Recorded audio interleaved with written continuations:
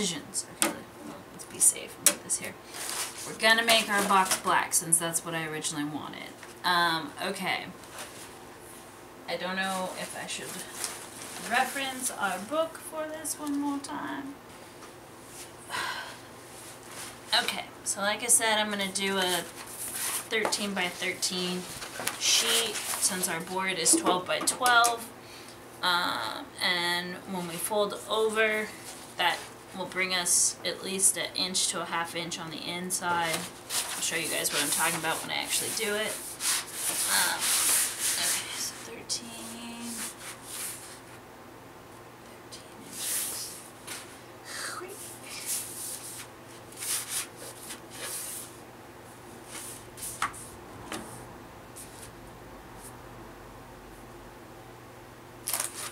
Why does that make me nervous? Okay, just checking. Okay. Alright, we're gonna do it. 13. And by 13. Alright, there's no going back. I cut it. Alright. I'll do one with you guys and then I'm gonna just do the other one off camera. Okay, well, okay. Correction, next one we're gonna do 14 by 14 because this is a little tight. It'll still work, um, but it's a little tight. Uh, so number one thing is, is it's gonna flat like that. Uh, you're gonna wanna cut your corners, I'm not going to glue it down, but you're going to want to cut your corners across like this. Um, and then they'll fold in nicely. Um, I'll show you guys in a second. Let's put some glue on this bad boy. Okay, and then this is where having the watered down glue is really helpful actually because it just goes on there. Um, there's one thing I want for this part. Oh, my nice papers. Okay, we're also going to have our bone folder uh, to help really make sure that the paper goes onto this nice and flat.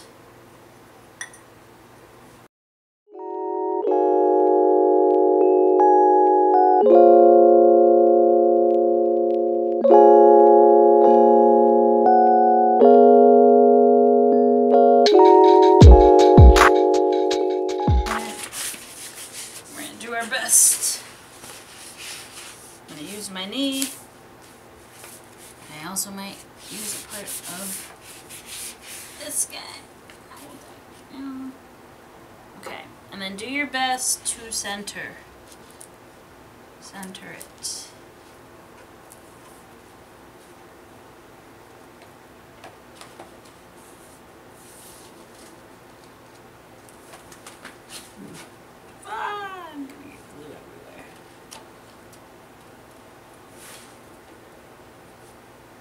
Okay, I'm gonna lift this up. I'm looking at it real quick before I press it down, so make sure. And we're just gonna go for it. Press her down. And then I'm gonna flip her over. She's looking pretty good. Take our bone folder. I love bone folders. Really nice straight edges, just drag it across. Just really emphasizes that for you. Okay. And I also sometimes like to get the edges of my box. Okay, so like that. Okay. And it should look like that on the inside and our outside is nice, sleek and black. And then there's, I mean, there's really one way to do corners, but you could do them two ways. So I'll show you the second way, but I'm not going to do it that way. Which is, okay, so you have your corner here, and you could cut like that. So you have this little split here. And then you'll glue this edge inward. But you'll have to trim that corner. because they're gonna cross. Um, the other way to do your corners, which is the preferred way, is more so, I don't know why I keep lifting it up, uh, to cut across this way. So that's what I'm going to do on my other corners. And really, I'm going to get rid of that split. And we're going to, oh, oh, oh. Okay, that one might be too close. Alright, so there's that. And then back to our glue. And glue your edges. Uh, and again, you could do the edge of the board. I like to go for the edge of the paper. So right there. Like so. And I do like to try and get like the edge of the board there. Okay, that looks good. And grab your bone folder again. You could do this by hand, but bone folder is going to be really more helpful. But it'll help you bring your edge over. Oh, I might have put a little too much glue because it came through and got on our bone folder, but it's fine.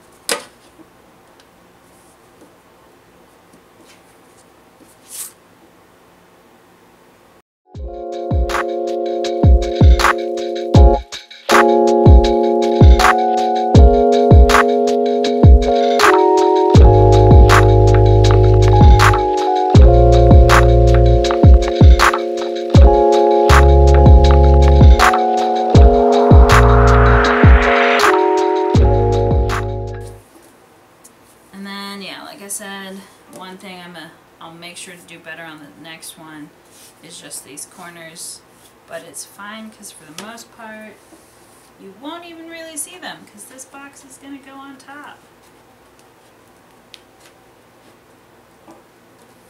So you won't really see the corners. Uh, and we're going to also specifically put, okay, so this is the smaller one, so we're gonna make sure that the other side is done better.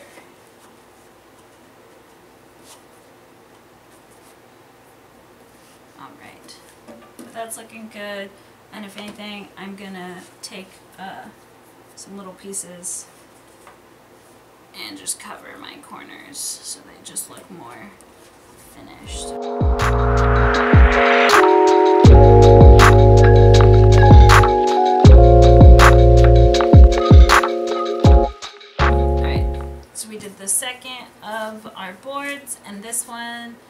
Board, remember it's 12 by 12, so I cut the fabric to be 14 so that it would have more of an overlap and our corners will just look nicer. Um, so this one looks a lot cleaner.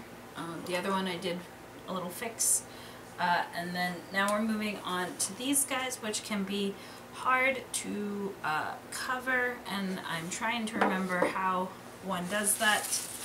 Currently, we are going for the length of our paper, which is just a tiny bit short, so I'm going to have to kind of finagle that, but um, it's okay. Uh, so what you do is you get a piece of scrap paper, like I use this receipt, and you're going to put at least like a half inch, quarter inch, quarter inch, half inch, whatever your choice is, underneath, and then you'll bring it up over the side, and you want to make sure that you have at least a half inch, if not an inch, laying flat on the inside, if that makes sense. And then you take that scrap paper, which this is a little too short, and you can measure it to your actual paper. And then that's why our paper is just a little bit bigger than the scrap paper to make up for the fact that that was a little too short. Um, which ended up being seven inches. So this is seven inches tall, whereas the height on our box is about two and a half inches uh, for depth purposes. And then the way that you will then wrap this guy, um. I'm like thinking, I'm like, if I do it towards you, maybe it'll make sense. Alright, so you'll put it on here, and then you'll glue here, and then you'll glue here, and then you'll tuck your insides all in like that. And on the bottom, this will all be tucked in. Um, so that's the next part that I'm gonna do, is gluing this together.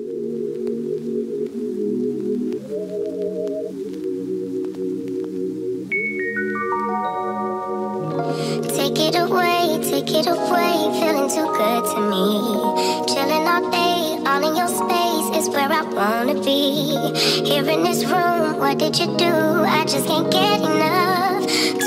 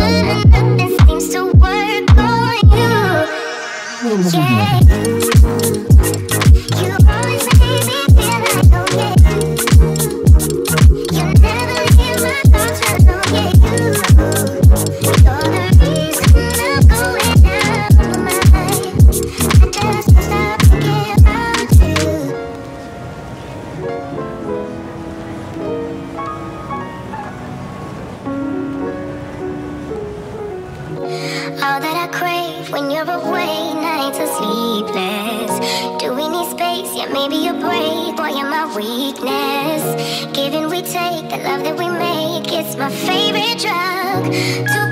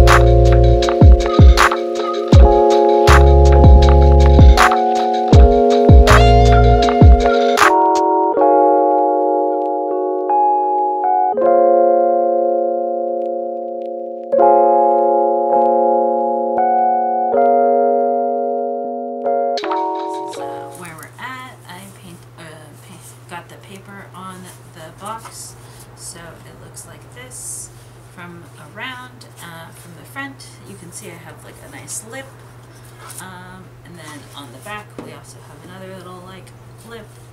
And I'm sorry, I wasn't thinking, and I did this part without showing you. Um, so this is the top of our box, and as you can see, I added in the piece of paper. Um, since we have the nice um, lip there, you just cut a sheet to kind of overlap over that um, and just glue that real quick and then lay your paper down and then I use the bone folder to you know just really like smooth it out so that it's really flat. Okay. And currently this would be the top of the box and then this is the bottom. So you close like so. And then we have our black piece here and our other black piece. That will go at the bottom.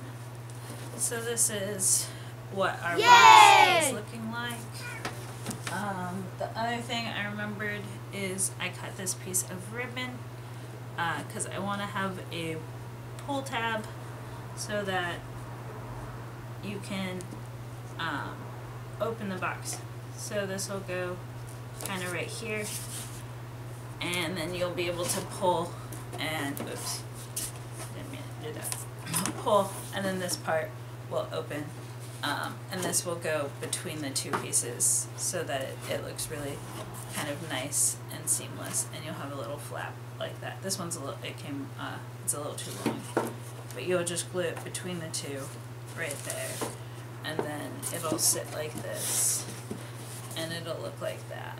And then they can open it, and then like I said, it'll open the, the top part of the box. I keep grabbing the bottom, but it'll just open the top part of the box. Uh, so that's Someday soon, I'm gonna make it.